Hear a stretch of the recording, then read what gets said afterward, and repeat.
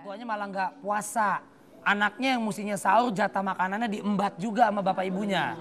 Nah ini gimana caranya si Riko yang tidak ceper ini itu ngasih tahu bapaknya atau ibunya supaya tapi tanpa mesti durhaka. Secara bergantian biang galau, secara bergantian akan menjadi Riko yang nggak ceper tadi dan saya sama Saskia jadi orang tua Riko yang sedang makan sahur. Mimpi apa? Gue punya orang tua kayak begini. Piringnya begini aja ceritanya kita. begini ya? Iya makan.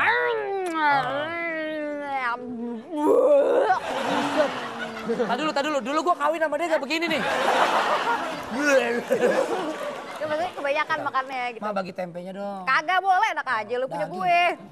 Kita nggak kita nggak puasa nih ya. Hah? Biarin ya. Udah makan aja. Ini. Ya, ah berisik. Lagi bikin adik kamu udah. Pak, Enak. lagi ngapain sih sama mama berdua? Lagi Lagi makan. sahur ini nggak ngeliat. Enak nih papa. Papa, Iya. mama. Sebagai anak yang berbakti sama orang tua, saya mohon maaf. Diam!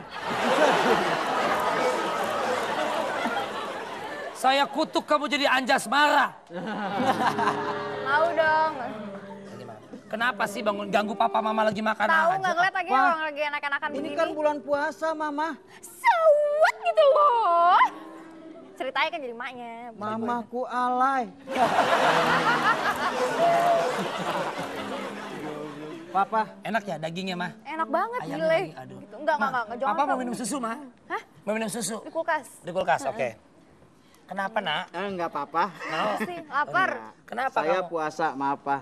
Astagfirullahaladzim. Dia puasa. Heeh. Iya. Terus maksudnya? Saya tanpa harus mengurangi rasa hormat sama papa, sama mama. Aku eh, Riko yang kurang ceper ini eh, sayang banget sama papa, sama mama. Tapi kalau caranya begini kan aku butuh pendidikan juga, Pak, Ma. Bagaimana kalau aku cari papa mama baru aja ya? Oke, Lukas. Enak mah? Enak banget ini. Ini u- udah waktunya sahur ini? ya, Pak? Udah. Udah. Kok kamu bangun jam segini? Aku mau makan sahur, Pak. Ya makan aja sana, ya Maya. Ya Allah, Papa. Hah, piringnya habis nih, nih, Nana, nih. Sayang, Eh, gua anak kandung bukan sih di sini ceritanya. Emaknya kejem banget. Masa gua makan dari sepatu? Emang kenapa ngusilin banget sih papa mama Piringnya mau? ditaruh di sini lagi. Bagi nasi. Tunggu dulu udah. Mata papa sampai gatal itu. Kenapa kamu ganggu mama papa lagi makan? Papa tahu nggak sih dosanya orang yang mampu puasa tapi nggak puasa? Ah, so tahu. Beneran. Apa? Apaan? kamu Itu dari mana? Aku dari guru ngaji aku. Emang bilangnya apa? Katanya nanti papa akan di neraka tuh diborgol. Pakai apaan tuh? Oh, borgol ke Tomang. Itu grogol. Wow. Oh, Jadi ntar diborgol, diikat, terus uh ditelanjangin, ditetes-tetesin lilin. Mau pak digituin? panas dong nggak mau. Kok mama senang pakai lilin? Pengalaman pribadi ya? Enggak. Eh, puasa. Oh, puasa iya. Iya dong, masa anaknya mau puasa nggak dikasih makanan? Oh jadi yaudah kita mesti Oh, dia mau minta Ma. makan doang. Kasihan pak. Papa, papa, papa. Ini masa anak kandung mau, mau sahur aja ngemis? Oke, tepuk tangan sekali buat Aco.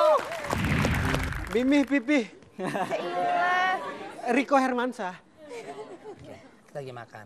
Mimi, Hmm, satunya ada gila. Mimi Pipi. Mama, sejak kapan kamu melahirkan anak lutung, Ma? Ya,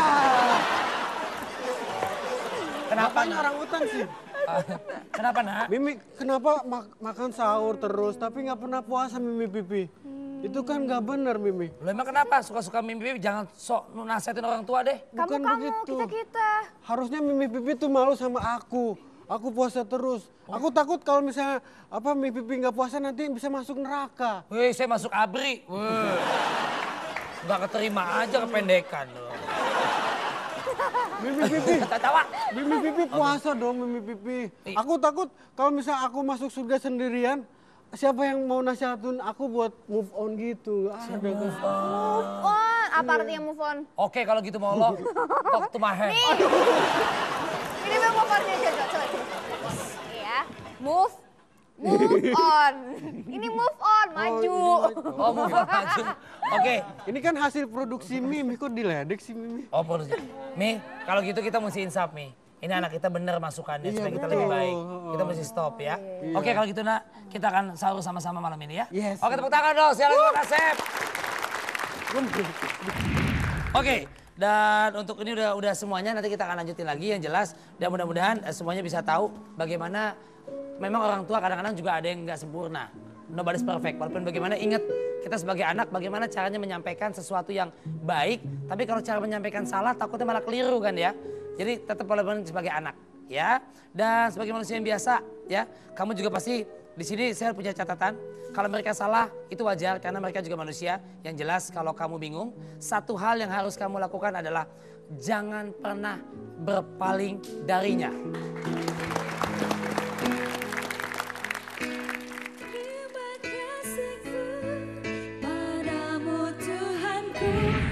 Kira-kira kalau si Pak Haji, Pak Haji ini kita wawancara, kita tanya, Pak Haji, Pak Haji kok korupsi emangnya nggak takut neraka? Mungkin dia akan jawab, ah gue mah santai di neraka, gue udah ada orang dalam katanya.